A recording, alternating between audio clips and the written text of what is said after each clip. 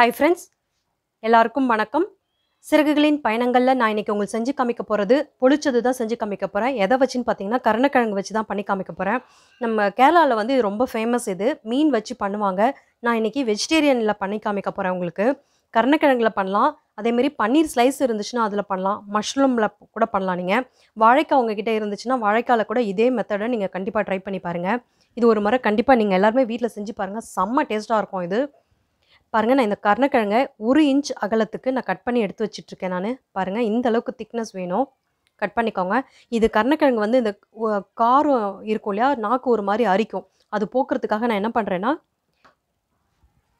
இந்த இதில் வந்து லைட்டாக நல்லா கீறிக்கோங்க இப்படி. பாருங்கள் இந்த மாதிரி நல்லா கீறிக்கோங்க. லைட்டாக மேலாப்பில் மட்டும் கீறுங்க. உள்ளே உள்ளே வந்து ரெண்டு பின்பக்கம் வந்து வரக்கூடாது. லைட்டாக கீறி எடுத்து வச்சுக்கோங்க. இதே மாதிரி எல்லாத்தையும் கீறி எடுத்துக்கலாம். இந்த கருணக்கிழங்கு எல்லாத்தையும் கீறி எடுத்து வச்சுட்டேன் நான். இதுக்கு மேலே வந்து ஒரு மசாலா தடவு தடவி நம்ம எண்ணெயில் பொரிக்கணும்.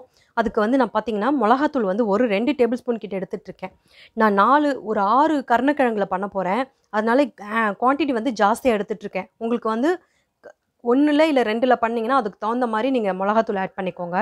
நான் ஒரு ரெண்டு டேபிள் ஸ்பூன் கிட்ட மிளகாத்தூள் எடுத்துகிட்ருக்கேன் அது ஒன்றரை டேபிள் ஸ்பூன் வந்து தனியாத்தூள் எடுத்துட்ருக்கேன் ஒரு டேபிள் ஸ்பூன் மஞ்சத்தூள் எடுத்துட்ருக்கேன் அரை டேபிள் ஸ்பூன் கரம் மசாலா தூள் எடுத்துட்ருக்கேன் இதுக்கு தேவையான உப்பு எடுத்துட்ருக்கேன் கொஞ்சமாக இஞ்சி பூண்டு பேஸ்ட் எடுத்துட்ருக்கேன் நான். இதுக்கு கொஞ்சமாக புளி எடுத்துட்ருக்கேன் ஏன்னா கருணக்கிழங்குல அரிப்பு இருக்கும் இல்லையா? அது போக்குறதுக்காக நான் இப்போ என்ன பண்ண போகிறேன் அப்படின்னு பார்த்தீங்கன்னா இந்த மாதிரி ஒரு கிண்ணத்தில் நம்ம கட் பண்ணி வச்சுருக்கோம் இல்லையா? கீறி வச்சுருக்கேன் இல்லையா?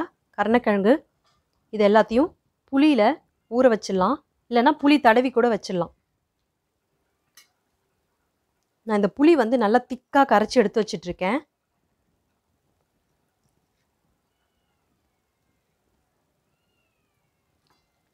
லைட்டாக எல்லாத்துலேயும் தடவி மட்டும் வைங்க. இந்த மாதிரி எல்லா பக்கமும் படுற மாதிரி தடவி வச்சுருங்க. அது நான் இந்த கருணக்கிழங்கு எல்லாத்தையும் புளியில் போட்டு நல்லா ஊற வச்சிட்டேன். இப்போ இந்த மசாலாவை நம்ம ரெடி பண்ணிடலாம். இது எல்லாத்தையும் ஒன்றாக்கிக்கோங்க நல்லா கலந்து விட்டுக்கோங்க. இதில் வேணும்னா நீங்கள் வந்து இப்போதைக்கு எலுமிச்சம்பழம் வேணும்னா எலுமிச்சம்பழம் ஆட் பண்ணிக்கலாம். நான் இதிலேயே கொஞ்சமாக வந்து புளி தண்ணி ஆட் பண்ணிக்க போகிறேன்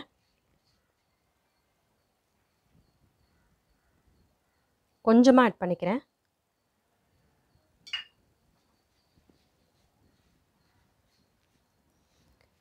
இதனுடைய வாசனைக்காக நான் வந்து தேங்காய் எண்ணெய் கொஞ்சம் ஆட் பண்ணிக்க போகிறேன் இந்த இது இந்த டிஷ் பண்ணுறதுக்கு முக்கியமான இன்க்ரீடியன்ஸு பார்த்திங்கன்னா தேங்காய் எண்ணெய் தான். ஃபுல் அண்ட் ஃபுல் நம்ம தேங்காய் எண்ணெய் தான் பண்ணணும். தேங்காய் எண்ணெய் ஊற்றிருக்கேன் இதையும் போட்டு நல்லா கலந்து விட்டுக்கோங்க. தண்ணிக்கு பதிலாக எண்ணெய் ஊற்றிக்கோங்க அப்போ தான் இந்த கிழங்கு எல்லாத்துலேயும் எல்லாமே ஒட்டும்.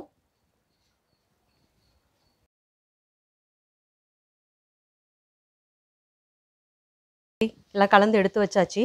உப்பு சரியாக இருக்கான்னு செக் பண்ணிக்கோங்க. இப்போ நான் ஊற வச்சு வச்சுருக்கேன் இல்லையா புளி தண்ணியில். இதில் வந்து இது எல்லாத்தையும் தடவிடலாம்.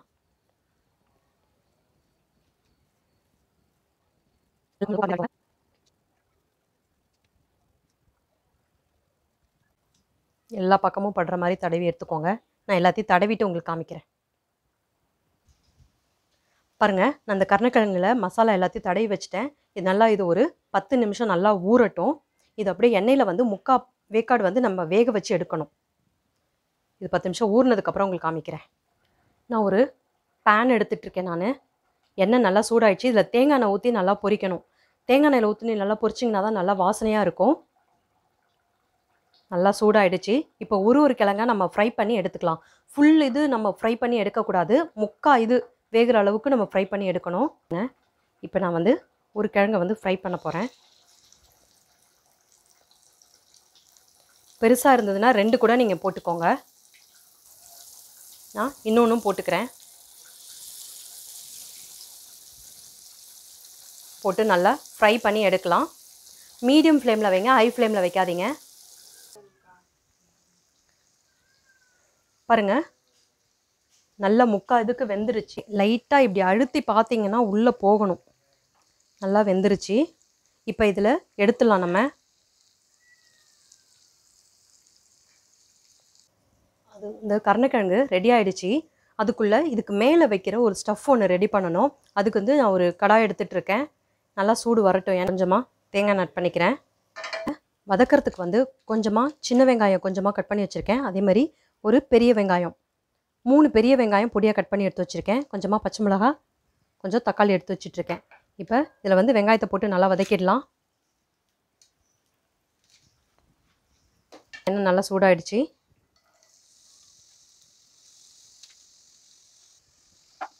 நல்லா வதக்கிக்கோங்க.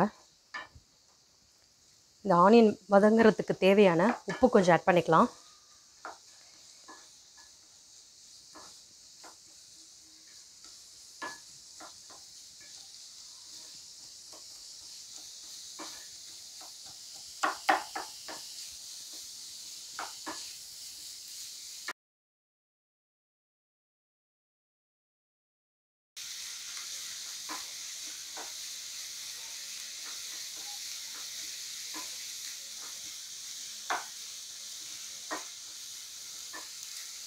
கொஞ்சமாக கருவேப்பிலை ஆட் பண்ணிக்கிறேன்.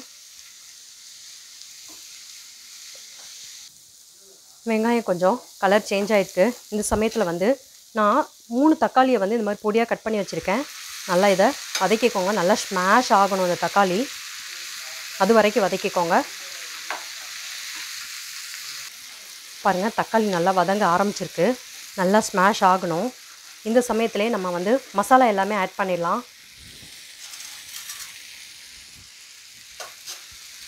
நான் ஒரு கால் ஸ்பூன் கிட்ட மஞ்சத்தூள் ஆட் பண்ணிக்கிறேன். ஒரு ஒரு டேபிள் ஸ்பூன் கிட்ட மிளகாத்தூள் ஆட் பண்ணிக்கிறேன். ரெண்டு டேபிள் ஸ்பூன் கிட்ட தனியாத்தூள் ஆட் பண்ணிக்கிறேன். ஒரு டேபிள் ஸ்பூன் கிட்ட சீரகத்தூள் ஆட் பண்ணிக்கிறேன். ஒரு அரை டேபிள் ஸ்பூன் கிட்ட மிளகுத்தூள் ஆட் பண்ணிக்கிறேன். இது எல்லாத்தையும் நல்லா வதக்கி விட்டுக்கோங்க. பாருங்கள் நல்லா ஸ்மாஷ் ஆகிட்டுருக்கு இந்த சமயத்தில் வந்து உப்பு கொஞ்சம் ஆட் பண்ணிக்கோங்க. இதுக்கு தேவையான உப்பு. நல்லா வதக்கி விட்டுக்கோங்க.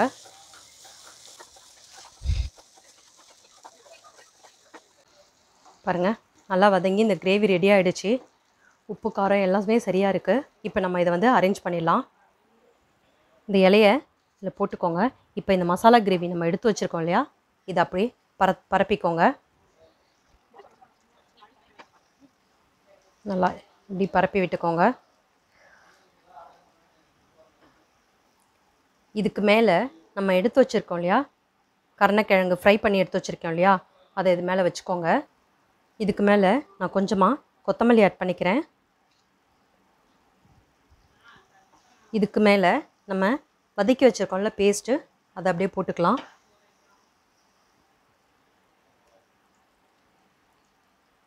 எல்லா பக்கமும் க்ளோஸ் ஆகிற மாதிரி வச்சுக்கோங்க.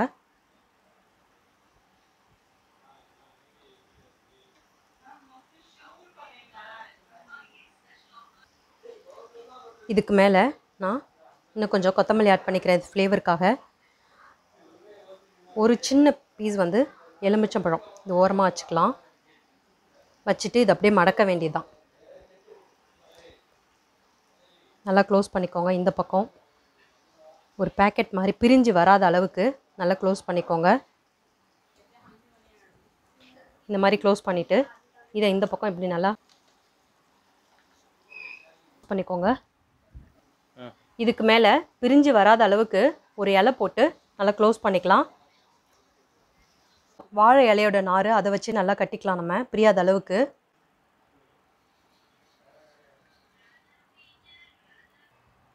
பாருங்க இந்த மாதிரி நார் வச்சு நல்லா கட்டிக்கோங்க. நான் இப்போ தோசைக்கல்லில் தான் பண்ண போகிறேன் நான். இன்றைக்கி உங்ககிட்ட பேன் இருந்ததுன்னா பேனில் கூட பண்ணலாம் நீங்கள் இல்லை தவாவில் பண்ணுறதுனாலும் தவாவில் பண்ணிக்கலாம். பாருங்கள் கல் நல்லா சூடாயிடுச்சு. இப்போ நல்லா இதில் அப்படியே வச்சுட்டு மூடி போட்டு மூடலாம். நான் அடுத்த ரெடி பண்ணுறதுக்குள்ளே இதை மூடி வச்சிடறேன் நான். பாருங்கள் ரெண்டு வச்சுருக்கேன் நான். இதை ஒரு மூடி போட்டு அப்படியே மூடிடலாம்.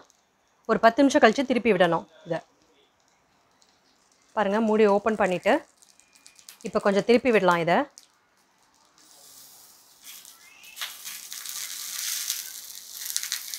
பேக் சைடெலாம் நல்லா வெந்திருக்கு. வாழை இலையோட வாசனை நல்லா வருது. இன்னும் ஒரு பத்து நிமிஷம் வேகட்டும். மூடி வச்சிடலாம் இதை. பத்து நிமிஷம் ஆயிடுச்சு. மூடி ஓப்பன் பண்ணிக்கலாம். நல்லா பாருங்கள் கலர் சேஞ்ச் ஆகிடுச்சு இப்போ இதை அப்படியே வந்து பிளேட்டுக்கு மாற்றிக்கலாம்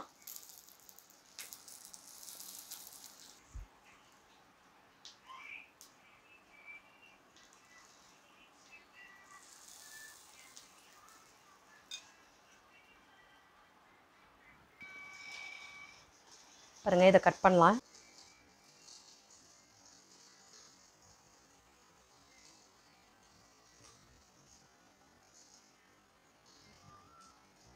ஆ செம்மையாக இருக்குது